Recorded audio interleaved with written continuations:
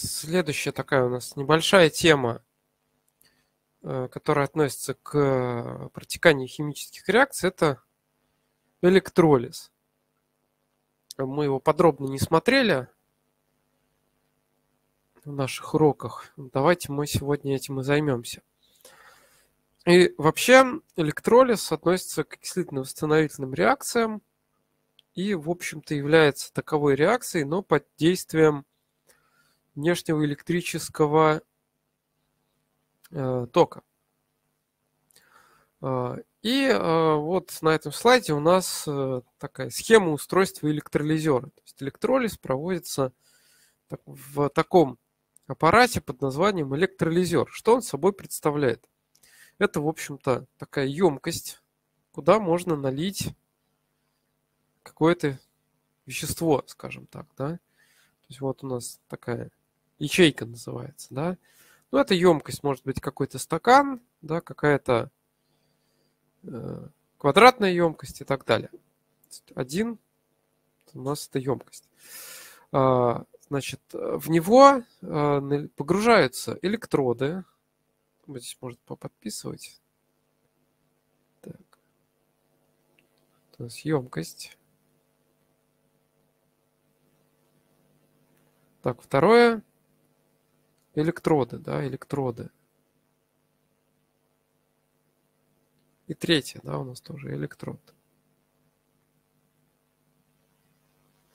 А, что, э, в общем-то, представляет собой электроды? Это какие-то э, электропроводные материалы, да, то есть это может быть, могут быть металлы, то есть кусочек металла, да, стержень, там, пластина, что это такое – может быть э, графит да, или уголь, который проводит также электрический ток.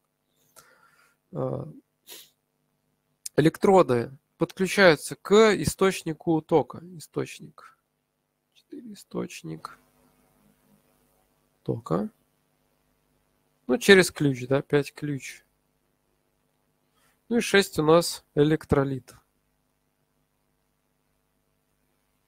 Электролит – это вещество, которое проводит электрический ток, что, то есть чтобы у нас э, была замкнутая цепь, ток протекал, да, у нас тут все должно быть электропроводное. То есть здесь провода, которыми соединяется источник тока, потом электроды должны быть электропроводные, и вот это вещество в ячейке у нас тоже должна быть электропроводной. И поэтому называется электролит. Вот здесь также может быть некоторая перегородка, которая э, может быть проницаемая для одного из видов ионов, но не обязательно. 7 это вот перегородочка. Мембрана там может стоять. Чтобы разделить продукты электролиза растворенные. Да. Вот. Электролит у нас может быть двух видов. То есть мы можем э, вещество в жидком состоянии э, которая обладает электропроводностью, ну, скажем, условно, два вида может быть этого вещества. Это может быть раствор, электропроводный раствор, то есть раствор, который содержит ионы. То есть раствор соли, э, кислоты или щелочи. Кислоты, щелочи. Раствор соли, кислоты щелочи. И второй вариант может быть расплав.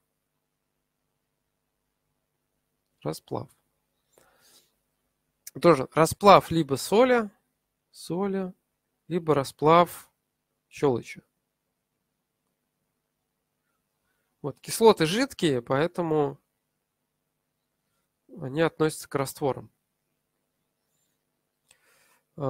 И, а, собственно, что у нас давайте, здесь происходит? Вот. А, для начала возьмем более простой случай. Это расплав. Расплав. Значит, когда мы подключаем источник тока, то он нам создает на одном электроде избыток электронов. То есть, если у нас отрицательный полюс источника тока подключен, то он создает избыток электронов в вот этой правой полоске металла. и а, она становится заряженной отрицательной. А, при этом а, к нему притягиваются противоположно заряженные частицы, то есть катионы. Да, вот, например, это в расплаве натрий-хлор, поваренной соли, это будут катионы натрия. При этом такой электрод будет называться катодом, потому что к нему движутся катионы. Вот так можно запомнить, да, что катод-анод в электролизе, электрод, к которому движутся катионы, это катод отрицательный, да, вот катод минус. И наоборот, анод это тот электрод, к которому движутся анионы. То есть он должен быть заряжен положительно. Вот. И что у нас происходит э, тогда на электродах? У нас когда катион натрия э, соприкасается с катодом, то он отдает, то есть он наоборот принимает электрон. Тут избыток электронов, то есть натрий подходит к катоду, принимает электрон и получаем э, атом натрия с нейтральным зарядом. Да? То есть мы получили простое вещество. И тогда процесс на катоде мы можем вот таким вот, такой полой реакцией изобразить. Натрий плюс электрон, получается натрий 0. Вот. На аноде у нас получается, что анионы будут отдавать электроду свои электроны. То есть у нас будет процесс окисления. Да? На катоде процесс восстановления, на аноде процесс окисления. Вот. То есть каждый Э, два иона хлора отдают по электрону и объединяются в молекулу а, газообразного хлора. И у нас выделяется на аноде газообразное вещество. То есть на катоде у нас получается оседает металл натрий. Ну, в расплаве он будет всплывать, потому что он менее плотный, чем хлорид натрия. Натрий будет всплывать Э, в катодном пространстве, и пузырьки хлора будут выделяться на аноде. А, ну и мы получили, в общем-то, э, такой вот баланс, как точно такой же, как в окислительно-восстановительной реакции. Да? Чтобы написать уравнение, мы должны э, поставить множители так, чтобы у нас количество электронов было одинаковое, да, то есть это либо крест-накрест, два, два из нижней реакции ставим наверх, единицу из верхней реакции ставим вниз. А, либо через наименьшее общее кратное. Да? Два способа. Вот. И в итоге суммарное уравнение, что 2 э, моль натрий хлор у нас под действием электрического тока образует металлический натрий и на аноде выделяется хлор. Вот, собственно, что получится при электролизе расплава. А, так. Если вопросы по вот этой части, электролиз расплава натрий-хлор. Кстати, таким образом получают активные металлы, те, которые взаимодействуют с водой, их нельзя получить из водных растворов. Поэтому необходимо, э, необходимо э, получать из расплава. Да? Вот натрий-калий Э, проблема в том, что нужно до высокой температуры разогреть э, вот эту систему, да, и э, при этом у нас не всякие подходят по материалу электроды, обычно графитовые или угольные используют, но они потихонечку тоже выгорают. Вот. И, например, вот таким образом алюминий мы не можем получить, потому что его оксид имеет очень высокую температуру плавления. И прямо вот не, не получится. И алюминий в воде нельзя получить, поэтому его получают, растворив в криолите, там при 1200 градусов. Так, ну давайте все-таки отвлекся я на алюминий. А, давайте составим схему электролиза расплава натрия OH. Самостоятельно мы сейчас это сделаем, но в помощь такой видеофрагмент посмотрим. себя вы...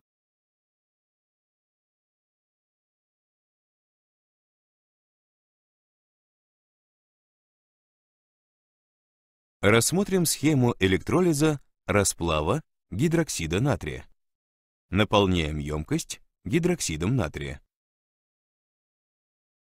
Ставим емкость на электронагревательную плиту. Гидроксид натрия плавится при температуре более 320 градусов Цельсия. При плавлении щелочь распадается на свободные ионы. Если через расплав пустить электрический ток, то произойдет электролиз. Подаем напряжение на электроды. С поверхности левого электрода, катода, начинает выделяться жидкость металлического цвета. Это расплав натрия. С поверхности правого электрода, анода, выделяются пузырьки газа. Это смесь кислорода и паров воды. Рассмотрим процесс электролиза на атомном уровне. Как мы уже говорили, в расплаве гидроксида натрия присутствуют ионы натрия и гидроксид-ионы. На катоде сосредоточено большое количество свободных электронов. Они притягивают положительно заряженные ионы натрия. Когда ион натрия достигает поверхности электрода, на него перемещается электрон. Ион натрия восстанавливается до нейтрального атома, то есть образуется металлический натрий. Записываем уравнение. Обратный процесс протекает у поверхности анода. Анод объединен электронами и имеет положительный заряд. Из расплава к нему притягиваются отрицательные ионы, гидроксид-ионы. Когда ион достигает поверхности электрода, то отдает ему один электрон и превращается в нейтральный гидроксид. Гидроксид-ион окисляется. Нейтральный гидроксид неустойчив и разлагается с образованием воды и кислорода.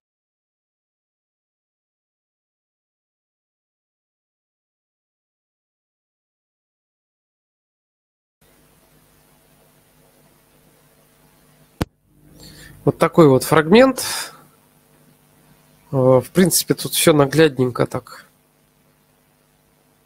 И Надеюсь, понятно.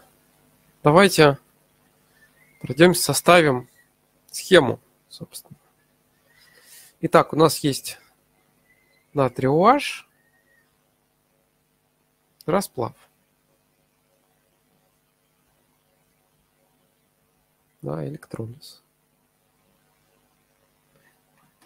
И мы, собственно, должны расписать процессы на катоде и аноде.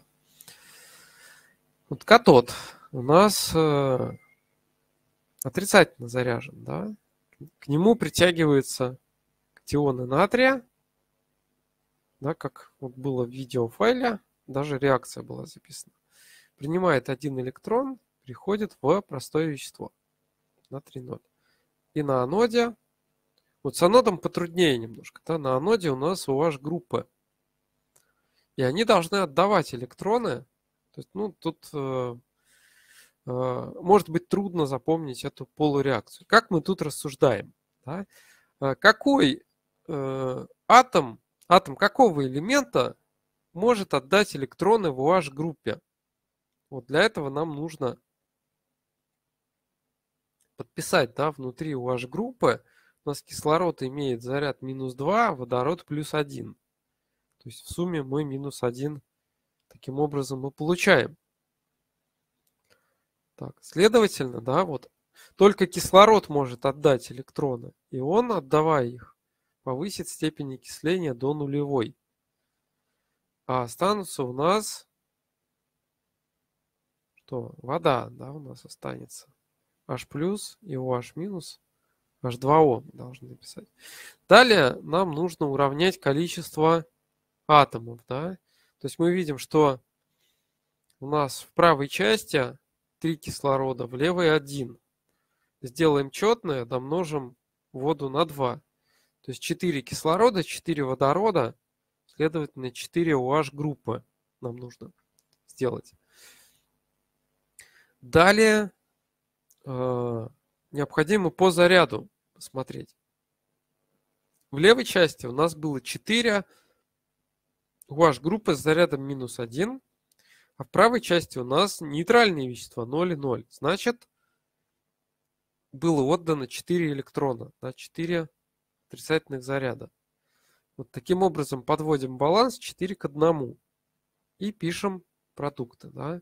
У нас э, натрий, 4 натрия, да, можно сразу поставить и тут 4, 4, плюс О2, плюс 2 воды. Вот таким образом, да, мы составили уравнение электролиза. Схема, да, электролиза расплава натрия OH. Так, что еще у нас интересного с расплавом? Давайте посмотрим. А, если у нас кислород, содержащие соли, подвергаются электролизу, если они, конечно, не успевают разложиться да, при плавлении, у нас может быть два случая. У нас может быть не металл а, в промежуточной степени окисления, не высшей, да, а в промежуточной. То есть, например, сера у нас плюс 4. Сера плюс 4. А может быть в высшей степени окисления плюс 4 для углерода это высшая степень окисления. Вот, давайте рассмотрим, что получается, если у нас электролиз расплава натрий 2СО3. То есть он у нас диссоциирует. Да? Тут нужно представить, какие ионы у нас в этом растворе. Это два катиона натрия на 1 моль натрий 2СО3 и анионы СО3 2 минус. 3 2 минус. Что у нас на катоде? Да? Катод отрицательный. К нему притягиваются катионы натрия точно так же, да, как и в предыдущих примерах. Принимает электрон и переходит в простое вещество натрий 0. А в анодном процессе СО3 2 минус а, электроны может отдавать вот не металл в промежуточной степени окисления. То есть сера будет отдавать электроны и переходить в серу плюс 6. И нам нужно оксид составить. Да? SO3 как раз получится. То есть тут был SO3 2 минус, отдал 2 электрона, перешел просто в оксид серы 6 в SO3. И таким образом суммарное уравнение мы можем написать натрий 2 SO3. Так. Расплав. Электролиз. Мы получим а тут, тут еще, да, мы подводим баланс 2 к 1. 2 натрия плюс СО3. 2 натрия плюс СО3. Да, вот довольно простое такое выражение. Что же будет у нас при электролизе, когда высшая степень окисления? Да? Ну, э, диссоциация также это будет 2 натрий плюс СО3 2 минус. То есть положительные катионы натрия, опять-таки, в катодном пространстве все то же самое.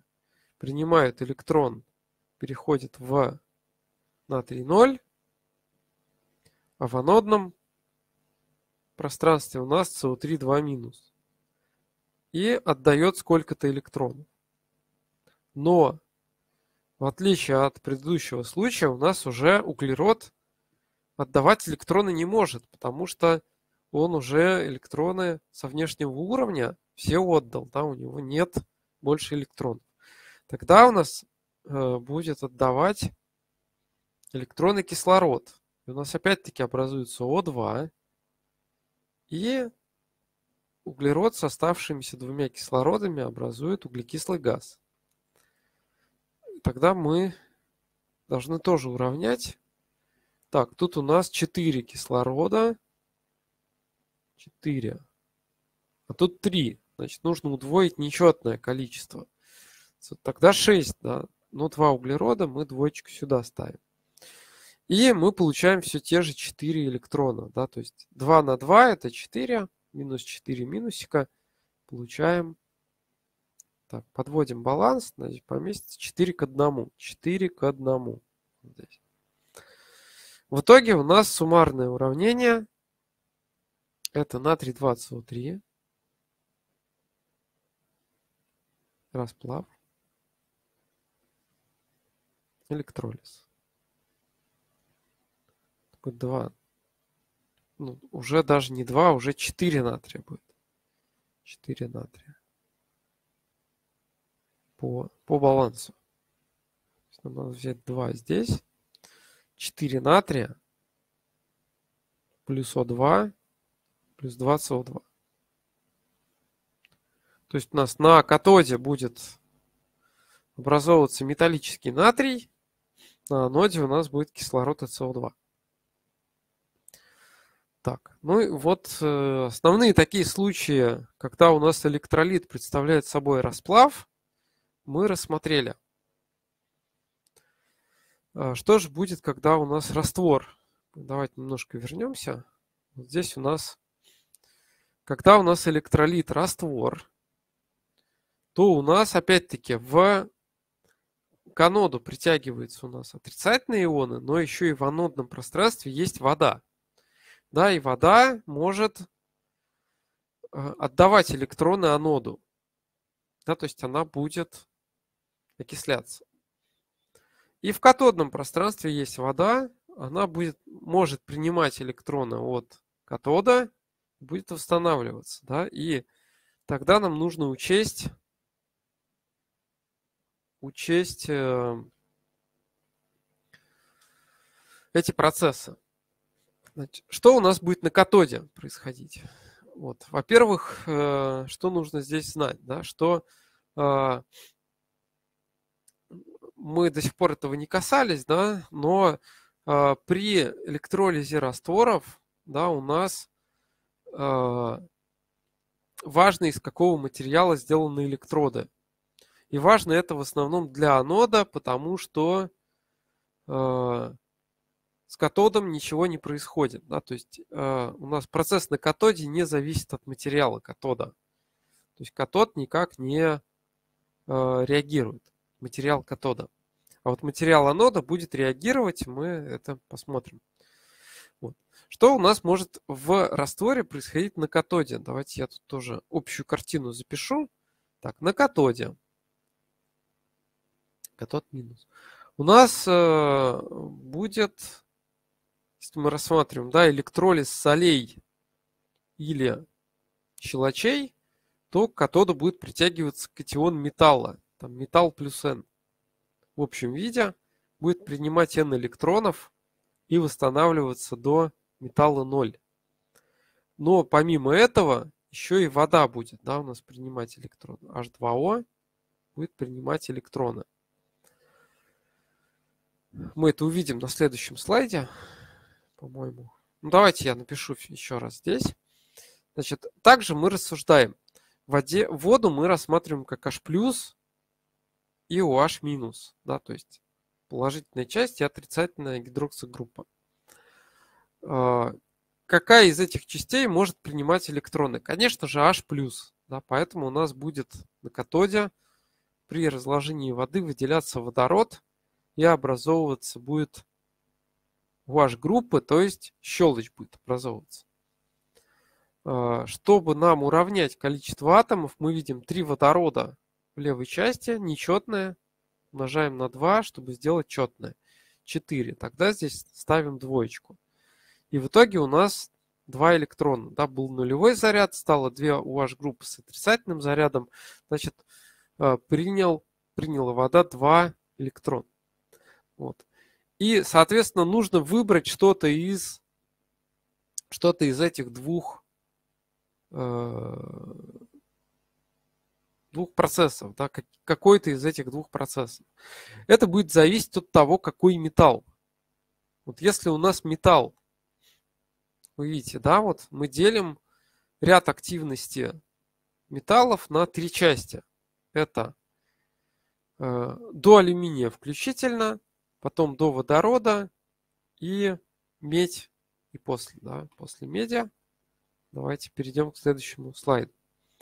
Если у нас металл активный, да, то есть это до алюминия включительно. Активный что значит? Что он с водой будет взаимодействовать. А раз у нас э, реакция идет в водном растворе, то даже если у нас образуется такой металл, устанавливается, да, то он у нас будет реагировать с водой с выделением водорода. Да, то есть мы все равно сводим э, процесс к восстановлению воды.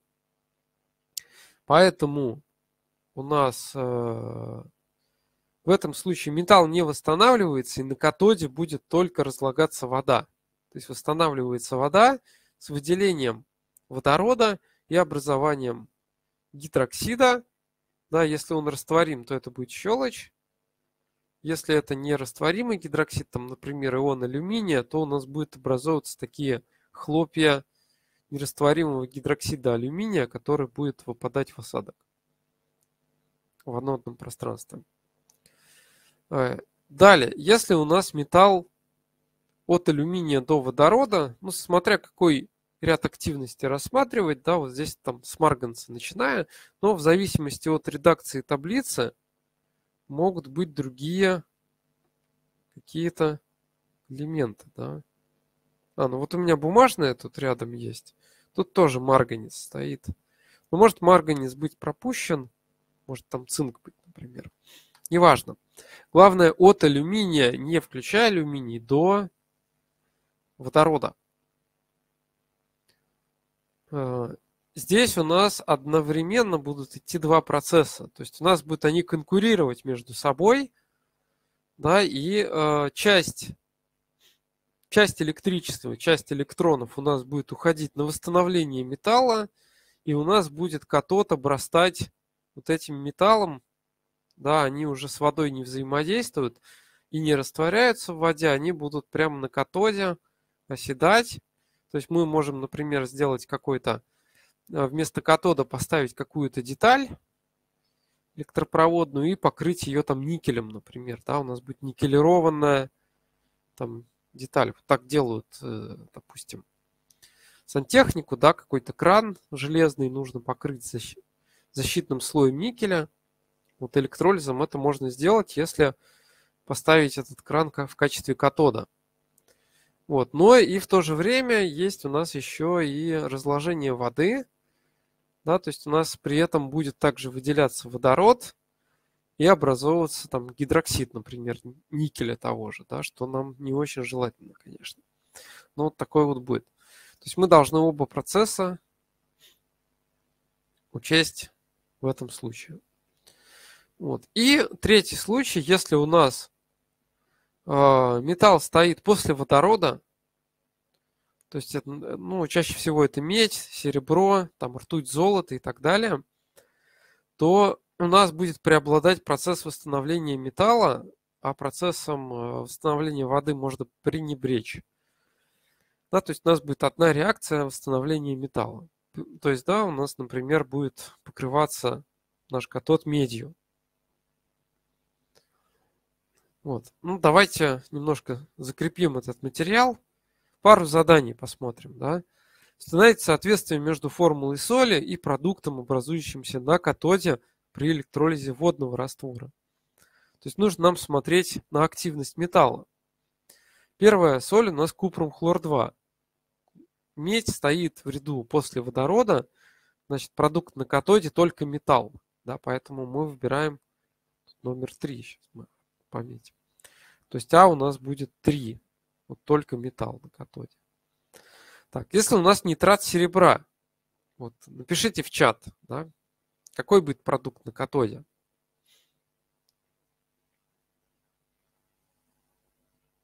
Тоже э, если нет под рукой ряда активности металла, то можно посмотреть, что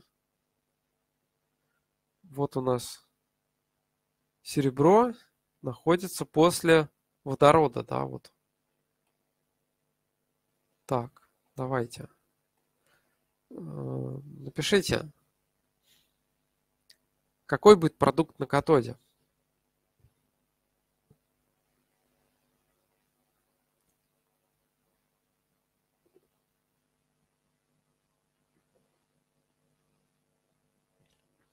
Так, не активно как-то сегодня. Ну, тоже металл, да, тоже будет металл, серебро, только серебро будет выделяться. То есть тоже троечка. Дальше, калий 2С. Калий 2С. У нас калий – это металл активный, первая группа, да. А, следовательно, у нас на катоде будет разлагаться только вода, следовательно, будет выделяться водород. Водород один. Ну и то же самое, натрий бром, да, у нас будет э, выделяться также водород. Сколько натрий тоже до алюминия в ряду активности стоит. Еще один, еще один пример, да, тоже такое же задание э, на катоде при электролизе водного раствора. Тут, кстати, серная кислота стоит. Да, серная кислота, это значит к катоду можно записать, да. Что у нас будет с катодом? Катод минус. Вот, но здесь э, только катионы водорода у нас есть, да, H+, будет принимать электроны и переходить в простое вещество H2, два электрона, да. Следовательно, у нас на катоде, что только водород. Только водород подходит. 4. Сульфат меди. Сульфат меди. У нас снова медь в ряду активности после водорода. Следовательно, только, только металл, только медь. Тут будет у нас восстанавливаться. Ну, алюминий хлор-3. Алюминий активный металл. Мы его включаем в первую такую группу активных металлов. Поэтому будет только разложение воды. То есть в этом случае, да, только водород, опять-таки. Только водород, четверочка. И хром-2 СО4 трижды. Вот это металл средней активности. Значит, у нас будет восстанавливаться и металл, и вода. То есть будет металл и водород на катоде. Такие задания. После того, как мы рассмотрели вот процессы, то легко достаточно выполнять. Металл, водород, троечка. Вот. Если вопросы, по процессам на катоде. Если есть, пишите в чат или вопросы. Если пока вопросов нет, пишите вопросы, мы вернемся, если что. А, переходим к процессам на аноде. Вот. В аноде мы должны, а, чтобы выбрать, какой процесс будет, такой вот из трех шагов отбор сделать. Да? То есть первое, что у нас будет здесь?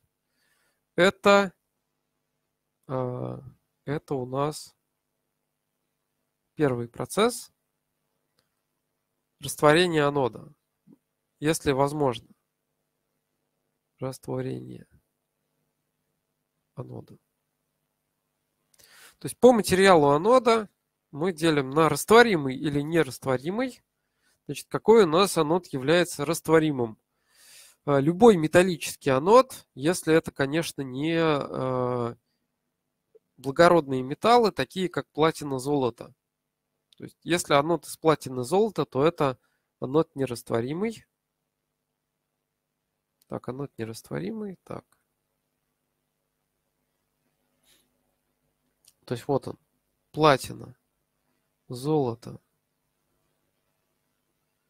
А, также у нас угольный и графитовый относятся к нерастворимый графит. У нас опять-таки, давайте вот а,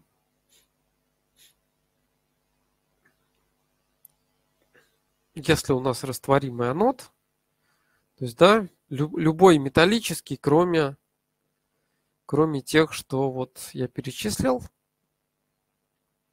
либо так и говорится, что, э, что анод инертный. Вот. И, то есть мы проверяем, какой анод. Если анод растворимый, то идет очень простой процесс. Идет окисление металла. То есть анод, собственно, растворяется. Материал анода, металл, 0, отдает n электронов и переходит в раствор, в виде катиона металл плюс N. Да, то есть, например, если это там медный анод, то это будет медь отдавать два электрона, переходить в медь плюс 2. Да, вот. И все, да, и больше мы ничего не учитываем. То есть, как только наткнулись на растворение, что оно растворимый, написали вот эту полуреакцию, и все. И все готово. А, далее, если анод нерастворимый, то у нас идет второй шаг. Да? Нужно посмотреть, и э, из какого аниона у нас э, составлена соль тоже можно на следующий слайдик перейти. Вот. У нас анионы можно выстроить в такой ряд, когда у нас восстановительная активность уменьшается. Да? То есть у нас э, мы можем разделить таким образом на анионы бескислородных кислот, щелочь вот здесь, и дальше анионы кислород содержащих кислот и фторид ион. Э, вот. И вот здесь у нас лежит граница где-то где-то по UH группе, да, вот, вот тут вот она, граница. То есть если э, у нас соль без кислородной кислоты, то в первую очередь на аноде будет восстанавливаться эта соль. То есть второе, это у нас э, там э, 2, 2 хлор минус, так напишем, 2 хлор минус минус 2 электрона превращается в хлор-2, 2 бром минус отдает 2 электрона бром-2, 2 йод минус отдает 2 электрона йод-2, и сера-2 минус отдает 2 электрона сера-0. Вот. То есть вот, вот этот процесс идет. А если же у нас э, не, не вот одна из этих четырех солей, то идет третий шаг, да, у нас. Вот эти анионы кислород, содержащие кислоты, фториды, никогда не восстанавливаются, а идет восстановление воды. То есть мы так по цепочке, да, вот такой вот чек-лист у нас. Вот. Анод нерастворимый, идем дальше, да. Кислота, то есть соль, кислород содержащая, значит, второй пропускаем пункт. И третий у нас идет здесь окисление воды. Да, то есть мы пишем H2O минус электроны равно что? И смотрим, какой атом у нас может отдать электроны. Это, конечно, кислород. Ну, точно так же, да, как у нас вот ранее было. А, в... Где у нас там было? В расплаве, да в расплаве не было воды. То есть мы здесь разбираем, да, что у нас кислород может отдать электроны, перейти в О2, 0, и остаются у нас катионы водорода, H+. Чтобы уравнять, нам нужно по 2, 2 кислорода сделать, да, и тогда 4 водорода, то есть снова 4 электрона у нас. Вот это уравнение можно с помощью таких логических рассуждений составить. Вот. И э, таким образом, да, выбираем процесс на аноде. То есть еще раз смотрим, если анод растворимый, то окисляются, точнее восстанавливаются, да, тут сейчас э, что-то я запутался. Так, отдают электроны окисления, окисляются, значит, да, окисляются ионы без кислородных кислот, и OH группа, да, тоже будет окисляться. Э, теперь, э, что у нас? Ну, вот, да, вот такая вот схема, да, тут еще есть. Вот, то есть, если у нас, вот случай нерастворимый анод, уголь, графит, платина, золото, соль у нас кислород содержащая, то как раз на аноде будет э, идти процесс окисления воды – вот, единственное, да, вот, ну, вода или щелочь, да, мы смотрим. Вот я написал для воды, и вот мы в расплаве, кстати, такое же было у нас для щелоча уравнение. Тоже мы его составляли. Так. Ну и окисление аниона обсудили. Давайте посмотрим пример конкретный, да, вот как раз у нас тут остается меньше 10 минут. Составим уравнение электролиза нитрата цинка на инертных электродах для начала. Смотрим инертный электрод. Так я пишу, да, э, цинк внутри дважды. Да, у нас H2O. А, электролиз. Электролиз. И для этого мне нужно расписать с катода начнем. Катод отрицательный, к нему притягиваются ионы цинка. Поскольку это ион средней активности, металл средней активности, то он будет восстанавливаться. Но также будет восстанавливаться вода. Да, то есть это вот как раз случай, когда у нас два процесса конкурируют. Да. H2O, тоже плюс 2 электрона, получим H2 плюс 2OH э, минус, да, у нас тут. Так, две воды надо взять. То есть, да, в сумме 4 электрона у нас тут выходит. 4 электрона принимает у нас э, от катода вещества. На аноде что происходит? Первое, что смотрим. Инертный анод, значит он не растворяется. Так. Далее смотрим. Соль, кислород, содержащий кислоты, значит анион не, не окисляется. Тогда у нас, следовательно, вода остается. H2O минус 4 электрона, тоже 2 воды. O2 плюс 4H+. Вот. И, ну, получается такой тройной баланс, да. Получается, но мы видим, что на катоде 4 электрона принимают, на аноде отдают. То есть 1, 1 и 1 множитель у нас получается. Пишем продукты, да, у нас. Давайте запишем. Внизу сначала.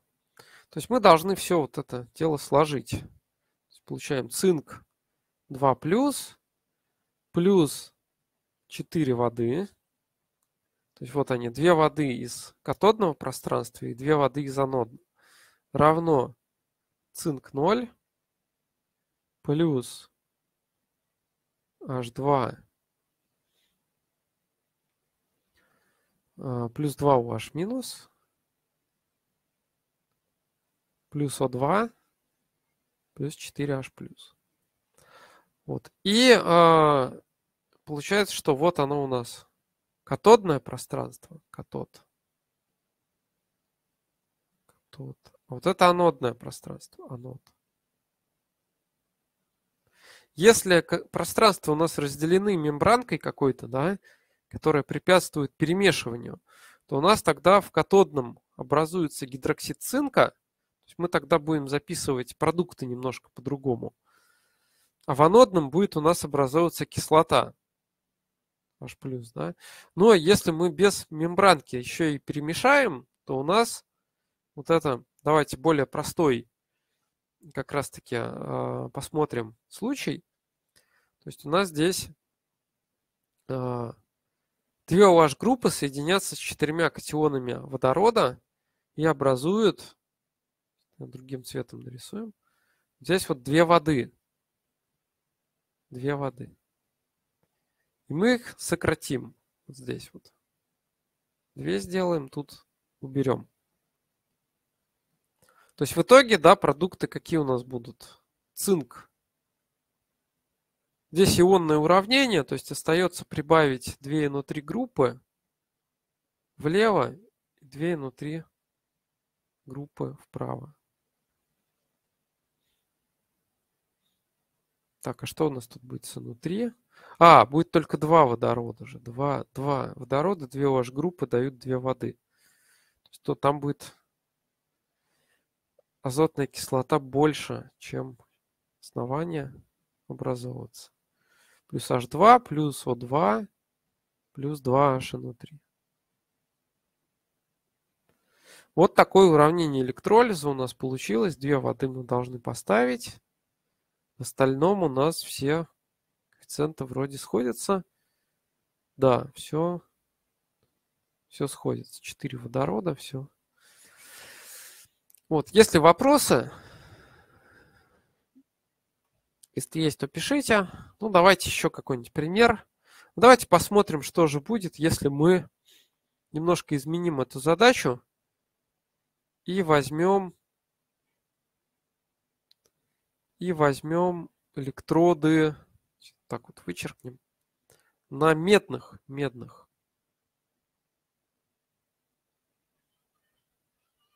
Медные электроды. Для катода совсем не важно, то есть цинк, опять-таки. Ну, ладно, давайте, давайте что мы сделаем.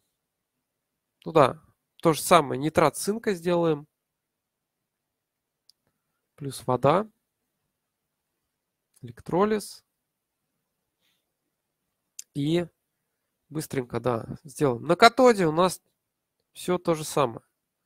То есть цинк 2 плюс, минус 2 электрона, цинк, там, плюс 2 электрона, да, цинк 0. Вода, плюс 2 электрона, 2 воды. Водород, 2 OH минус. Вот. А на аноде уже будет другая ситуация. Вот у нас анод металлический, да, значит, в первую очередь будет растворяться материал анода. Материал у нас медь. Значит, медь 0 минус 2 электрона равно медь плюс 2. Тогда мы подводим баланс. Тут тоже 4 электрона, то есть 2 к 1 к 1 должны поставить. И теперь складываем это все, умножая то есть немножко другое уравнение получится. Тут уже э, у нас э, материал анода появляется. То есть будет цинк 2 плюс, плюс 2 воды, плюс медь 0 равно цинк 0 плюс водород плюс 2 OH минус. А, у нас же 2 меди, да, 2. И плюс 2 купрум 2 плюс. То есть остается нам добавить внутри группы, да, и получится следующее уравнение. Мы уже продолжить не можем, первое, потому что меди тут нет. Поэтому внизу напишем. Цинк NO3 дважды плюс 2 воды плюс медь, 2 меди. Мы получим цинк плюс водород. Если у нас перемешивается раствор, то у нас один ион меди соединится с двумя OH-группами и выпадет в осадок гидроксид меди. Второй ион меди у нас соединяется с нитрат-ионами. То есть у нас вот остается часть. Часть меди выпадет в осадок, часть меди останется в растворе в виде нитрата. Вот э, посложнее, да, получается у нас. Реакции в растворах, электролиз в растворах. Вот, ну и на этом, я думаю, все. Рассмотрели электролиз сегодня. Всем спасибо за внимание и до встречи на следующей неделе.